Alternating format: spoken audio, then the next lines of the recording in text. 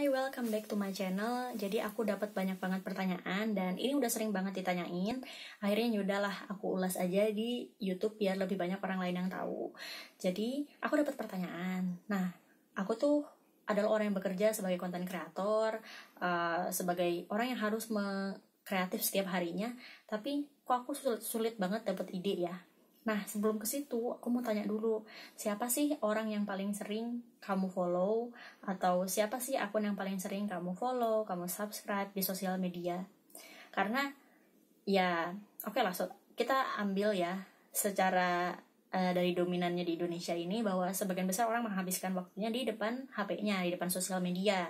Nah, apa yang teman-teman follow, apa yang teman-teman subscribe, apa yang teman-teman share, like, tweet, itu yang akan membentuk habit. Dan habit itu yang akan membentuk kreativitas dan kreativitas yang akan membentuk masa depan.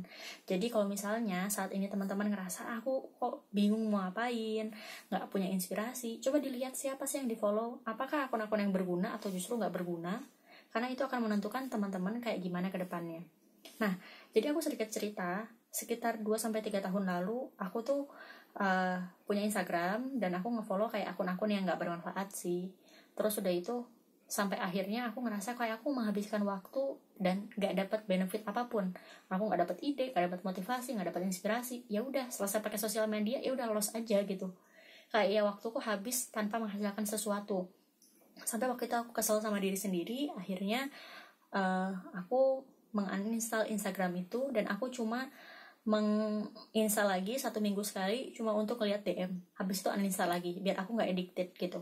Nah Terus udah itu sampai suatu hari aku menemukan suatu post yang menurutku bagus yaitu kalau kamu memang uh, punya Instagram, gak usah merasa benci dan harus menghindari Instagram karena Instagram itu cuma sarana. Yang menentukan Instagram itu akan bermanfaat atau nggak bermanfaat adalah diri kamu sendiri. Caranya gimana? Dengan cara kamu nge-follow, nge-share, nge-like akun-akun yang memang bermanfaat dan menginspirasi untuk diri kamu sendiri. Jadi jadikanlah sosial media itu sebagai tempat buat kamu untuk menjadi lebih baik untuk menjadi lebih terinspirasi, untuk kamu menjadi lebih relaksasi, bukan kamu tambah stres, tambah nyinyirin orang kayak gitu. Nah, dari situ akhirnya aku mikir, ya udah aku mulai uh, ngefollow akun-akun motivasi, akun bisnis, akun uh, pengembangan diri, self help kayak gitu. Dan ternyata dengan aku mengubah siapa yang aku follow dan aku share dan aku like, itu mengubah diriku menjadi lebih baik sampai sekarang. Dan aku jadikan itu habit. Nah, selain itu juga aku uh, dapat dari Instagram ini ya setelah aku nge-follow follow mereka akhirnya aku dapat sesuatu yaitu kita itu semua orang ini addicted terhadap sesuatu. Ada yang addicted makan jajan ada yang addicted makan es krim misalnya ada juga yang addicted uh, lihat sosial media ada yang addicted main game. Dan beberapa orang lainnya ada juga yang addicted membaca buku ada yang addicted uh, memperbaiki diri ada yang addicted uh, selalu belajar menjadi lebih baik. Nah kita yang menentukan kita harus addicted ke mana. Karena itu yang akan menentukan kita 5-10 tahun ke depan. Kalau kita addicted pada hal-hal yang merusak diri kita ya maka 5-10 tahun ke depan udah bisa kelihatan lah kita bakal jadi kayak apa.